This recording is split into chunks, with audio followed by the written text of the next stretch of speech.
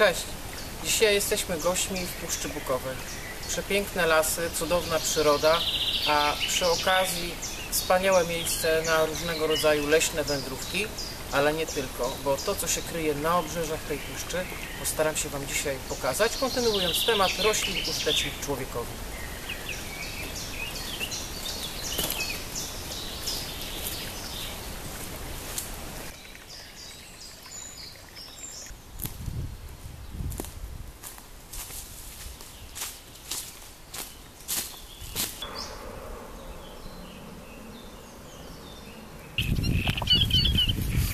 Taki skarb na środku drogi.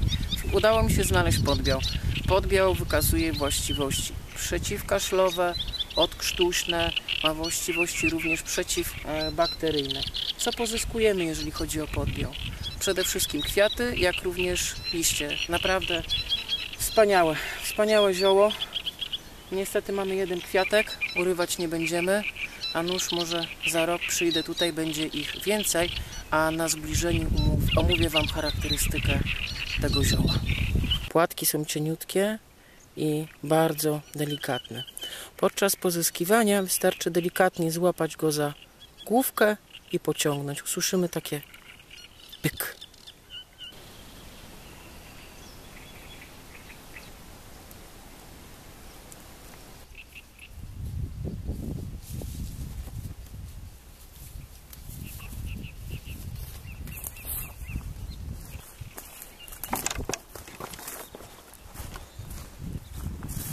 Naturalne wodopoje, rzecz bardzo ważna dla dzikich zwierząt. Szczególnie, że zaczyna nam się coraz większymi krokami rozpoczynać na nowo suszę. O, jest do celu, mamy jeszcze 40 minut.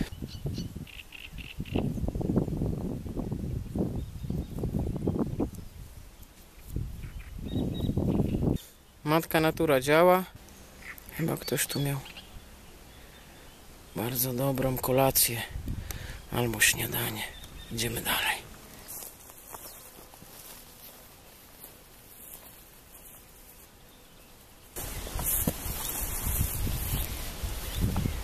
Z dzieciństwem kojarzą mi się dwa owoce. Jeżyna i dzika róża. I dzisiaj właśnie udało mi się znaleźć dziką różę. Oczywiście takim najlepszym okresem na zbieranie dzikiej róży jest późna jesień, kiedy mamy te pierwsze przymrozki, które sprawiają, że owoce dzikiej róży zaczynają lekko mięknąć. I to już powinien być dla nas sygnał, że to jest dobry moment, aby dokonać e, zbiorów dzikiej róży. Jeżeli chodzi o same właściwości owoców dzikiej róży, no to tutaj naukowcy się rozpisują w bardzo szeroki sposób. Dla nas najważniejsza informacja jest taka, że zawiera ona w sobie bardzo dużo witaminy C. 2, 3, 4 owoce takiej dzikiej róży e, dają nam stuprocentowe mm, zapotrzebowanie e, na witaminę C, jeżeli chodzi o osobę dorosłą. Jakie owoce powinniśmy zbierać? W pierwszej kolejności powinny być to owoce czerwone, różowe. Nie zbierajmy owoców czarnych, brązowych. To wskazuje, że ten coś, coś, coś, coś generalnie nie zadziałało, e, że te owoce nie nadają się do dalszej obróbki. Jeżeli chodzi o samo pozyskiwanie tych owoców i dalsze jej przerabianie, no to są dwie metody. Jeżeli pozbieramy takie twardsze owoce, to możemy je albo przecierać wielokrotnie przez sito w celu usunięcia takich drobnych włosków oraz e, nasionek, które znajdują się w środku, a jeżeli, a druga taka metoda polega na tym, że takie owoce chowamy do zamrażarki, wyciągamy po kilku godzinach, dzięki czemu one stają się dosyć miękkie, no i w tym momencie obdzieramy je ze skórki, usuwamy te włoski itd., itd., itd., itd. Dzika róża to nie jest tylko i wyłącznie drzem, bo dziką różę również możemy zasuszyć, ale musimy zwrócić tutaj e, uwagę na to, że przez to, że ona zawiera tak dużo tej witaminy C, a witamina C ma to do siebie, że ona się utlenia. Więc jeżeli poddamy jej obróbce cieplnej, suszeniu w temperaturze maksymalnie do 40 stopni, to może się okazać, że po przy dłuższym przechowywaniu, no w mojej ocenie 3-4 miesiące to jest taki naprawdę maks, jeżeli chodzi o przechowywanie e, ususzonej dzikiej róży. Można robić z niej syropy, można robić z niej nalewki, e, można ją również suszyć, coś o czym Wam już e, mówiłem.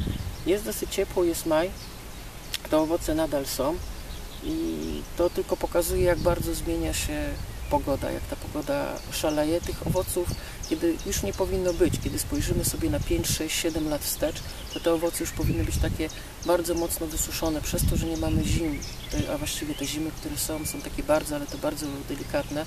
Natura troszkę nam tutaj wariuje e, i nie chciałbym w tym momencie wprowadzić kogokolwiek w błąd, ale ja nawet w takich okresach letnich, czy letnich, wiosennych, e, kiedy natrafiam na taką dziką różę, to pozyskuję ją do herbaty. Nadaje ona naprawdę bardzo fajnego smaku, bardzo fajnego aromatu i też wiem, że to jest taka mała bomba witaminowa i kalorii, o których wspominałem.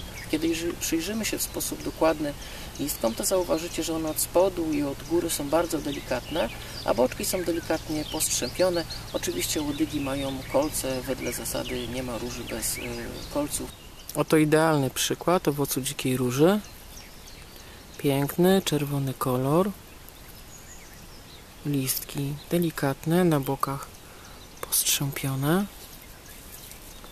Oczywiście mamy i kolce.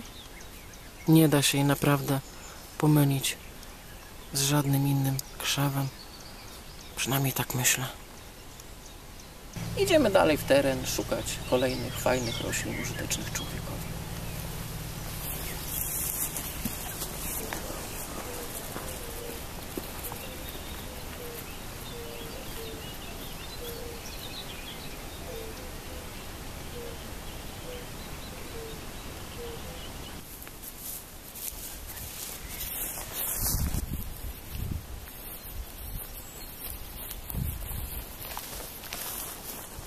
Naszą kolejną znajdką jest babka zwyczajna. Już nie będę tutaj wchodzić Wam w kadr.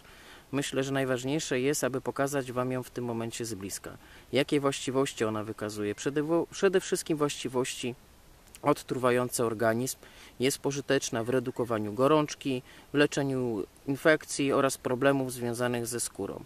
Zioło to jest również uważane za antidotum przeciwko trucizną, przynajmniej według takich e, podań, powiedziałbym, że ludowych. Dla mnie, niezależnie od tego, czy rozmawiamy o babce lancetowej, czy rozmawiamy o babce zwyczajnej, jest to najlepszy przyjaciel każdego piechura, każdej osoby, która spędza dosyć sporo czasu w terenie.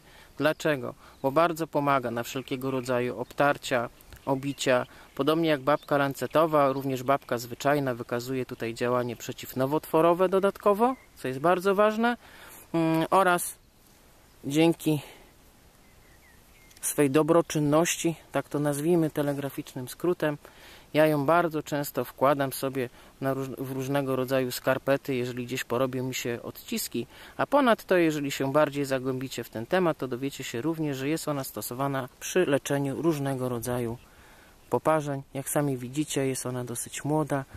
Listki gładkie, zarówno od góry, jak i od dołu. Damy jej spokój, tak jak i wcześniejszym ziołom. No ale tak czy inaczej uważam, że warto znać te zioło.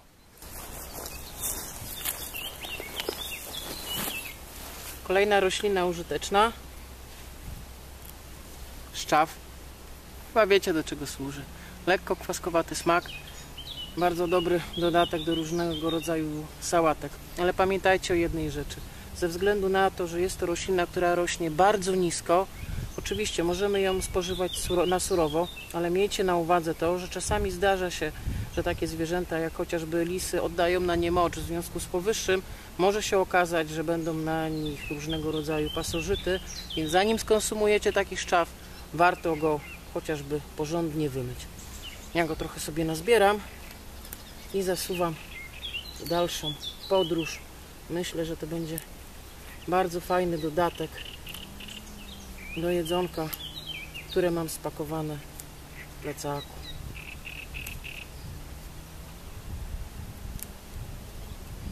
O, nawet tutaj już nie patrzcie. Lecimy.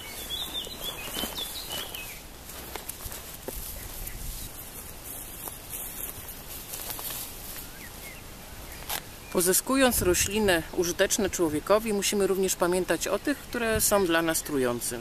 trujące. Przykładem tego jest łubin. Pamiętajmy o tym, że zarówno liście, jak i łodygi czy kwiaty są trujące. Chyba, że mamy do czynienia z łubinem, który kwitnie na biały kolor. Wtedy możemy pozyskiwać i zjadać strączki. Zostawmy więc tą piękną roślinę i ruszajmy dalej.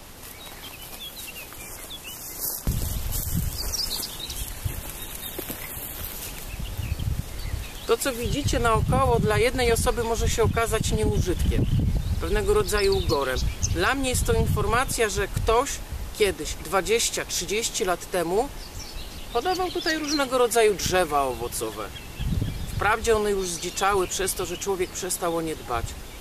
Ale z drugiej strony, z punktu widzenia survivalu i preparingu, nie zapominajmy o tym, że w sytuacji ekstremalnej, szczególnie w tym okresie letnim, jest to bardzo dobre źródło różnego rodzaju witamin, a przede wszystkim pokarmu, szeroko rozumianego pokarmu.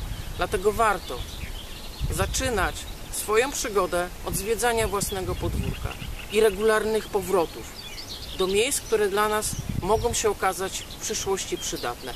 A to, że są przydatne, nie tylko dla nas, pokażę Wam już za chwilę. Idąc przez te zagajniki, zauważyłem bardzo dużą ilość różnego rodzaju ścieżek, którymi podróżują zwierzęta. I oto jest genialny przykład na potwierdzenie tego, o czym Wam mówiłem. To miejsce nie zostało zapomniane przez zwierzęta. One bardzo dobrze wiedzą, że jest to i będzie to bardzo ważne źródło pokarmu dla nich.